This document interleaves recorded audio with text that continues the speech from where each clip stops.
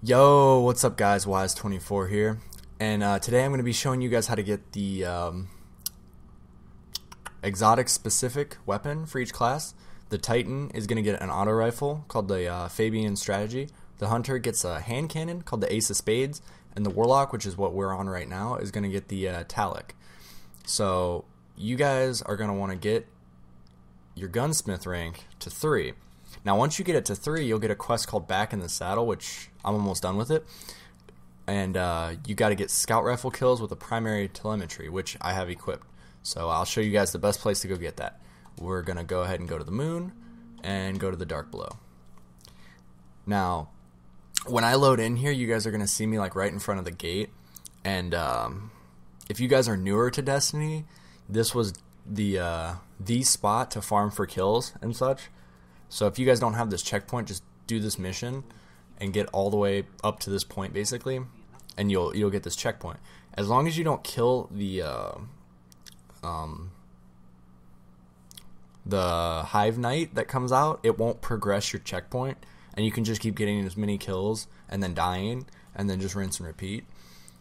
But uh, yeah, so you're gonna come down here you got to inspect the uh, the Guardian lane down here. And thanks to uh, Bungie's new update, we can fucking skip the goddamn cutscene. This was horrid in year one. You couldn't skip this cutscene. So like if you killed the knight, you were like, I'm done. I'm done. So we're gonna um wait for this loading screen. Alright, skip, skip, skip, skip, skip. Loading, loading, loading. Alright. So, got scout rifle equipped, primary telemetry, and then just keep killing these guys. Now, I'm going to get it pretty quick because I only needed two kills, but you can just keep killing these dudes, and then you'll uh, then die or blow yourself up with a rocket launcher. So, now we're going to go back to orbit, and we're going to get part two of this uh, quest. And after you finish the second part, you're uh, you get the gun. So I'm going to show you guys. We're going to go back to tower. Now I'm only going to show you guys on the uh, warlock, but I'll explain it for the other two classes because the quest is pretty much the same. Only like you're going to have to get auto rifle kills for the titan and hand cannon kills for the uh, hunter, but they're the primary, so it's not not that big of a deal.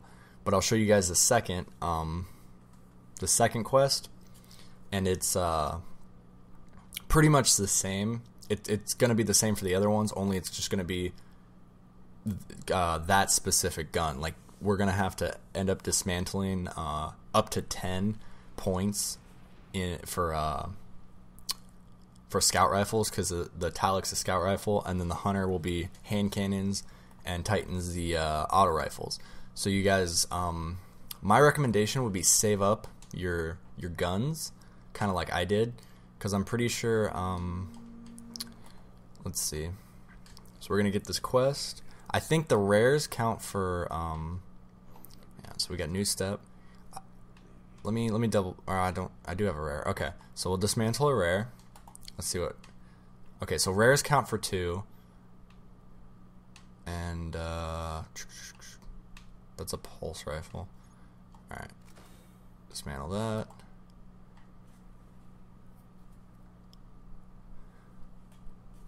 And those count for five. So if you guys just have two legendaries, it'll be good. Sorry guys, Treads Upon Stars is gone. Woo! Alright, back in the saddle. Now, like I said, for the other two, you're gonna have to have hand cannons for the hunter and uh, auto rifles for the um, for the titan. So uh, let's see what this bad boy looks like. It's it's alright. Let's, uh... So, Eye of the Storm, uh, hand-loaded, armor-piercing, injection mold, and this is the, uh... I'm pretty sure that's the perk we want. Yeah. This weapon has better handling, rate of fire, and stability when the wielder's super is charged. So, probably pretty good if you're going to run uh, Radiance. Because, uh, I mean, you're mostly only going to use Radiance if you're bringing yourself back to life. So, um, yeah, guys, that's that's going to be it for the video. Let me know what you guys think, and uh, I'll see you inside of Destiny. Later.